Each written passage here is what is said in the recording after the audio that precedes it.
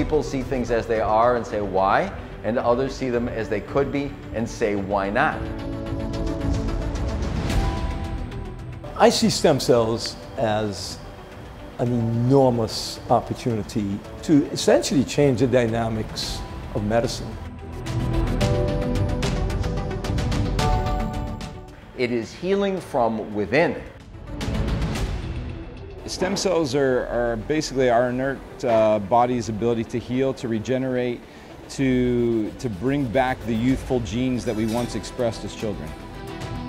So when you really start to understand stem cells, you say, goodness, all of these disorders, we have the capacity to treat and to cure without exogenous medications, without surgery. We're at the vanguard of that. And that is what captivates me, that's what keeps me going.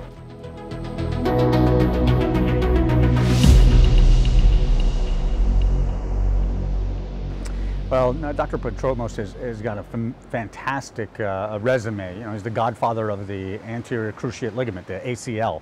And so when someone like that uh, realizes, that there, realizes that there's potential uh, for stem cell uh, therapeutics, uh, then it's probably time to listen. And he is, uh, you know, a, a, world leader in this field, venturing out into the stem cell world and I, he picked our product to do so. Regarding these stem cells and how they work, we found that they help people with various disorders get better. For example, arthritis. I'd always been interested in non-surgical approaches for arthritis, and it has been found that injecting stem cells helps people with joints that had been thought to have a necessity for joint replacement often do well without one. It was also found that for autoimmune disorders, things like um, MS, for example, that these cells would both modulate the immune system where your body is attacking yourself so it did much less and help these tissues heal. So I evolved from being interested in it for osteoarthritis to inflammatory arthritis like rheumatoid arthritis, which is an autoimmune disease, or lupus, for example, lupus arthritis, to other autoimmune diseases.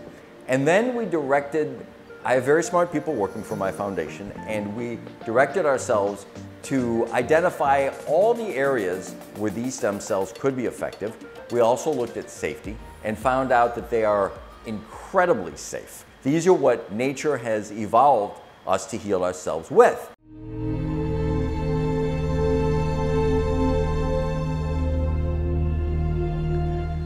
I'm here, this is my second treatment.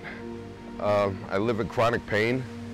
I came down here to uh, Antigua about two months ago. I received my first treatment and my pain went from about a seven to a two. So I'm here again to do it again to keep the momentum going. Dr. Prodromos is excellent. Everything is very smooth, to the point.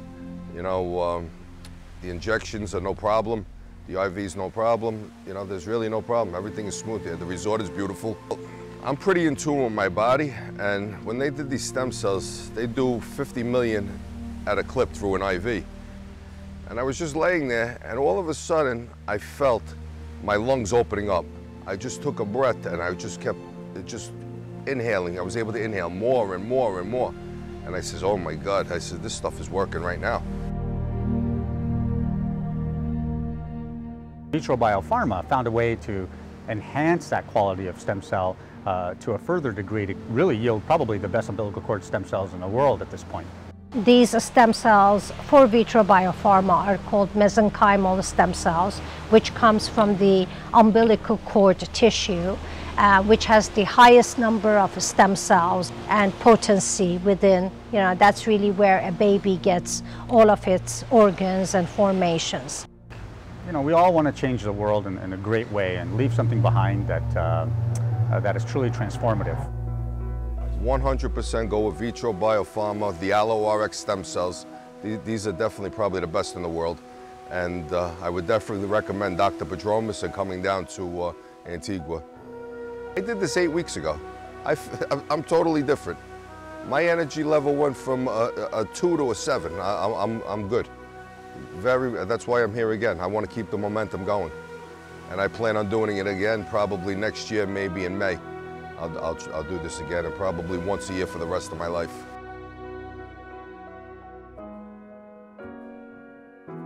Antigua checked a lot of boxes for us.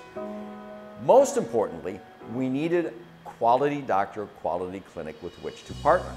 So we researched this extensively and came across our partner here, um, Dr. Joseph John, who four days ago was knighted by the British Commonwealth. So he is now His Excellency, Sir Dr. Joseph John. When, when, you, when you get a knighthood, it is intended to mean that you have made an indelible and significant contribution to your country in a way that really impacted huge numbers and you know changed the, the game so to speak in whatever field you're in. So that's the reason why people get people you know get knighthood. And i tell you this or i mention this to give you an idea of the esteem with which he is held here.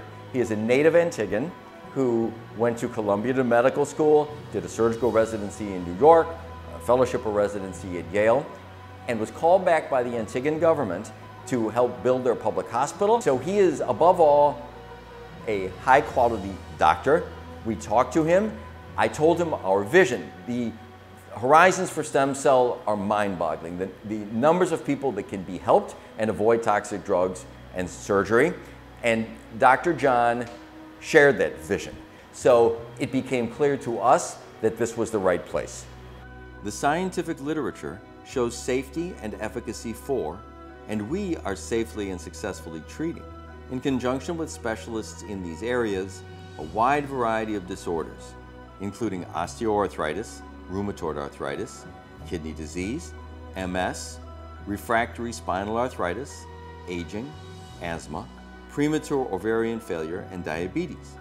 We have recently begun treating ALS and will soon begin treating retinal disease, spinal cord injury paralysis, osteoporosis, autism, and cerebral palsy.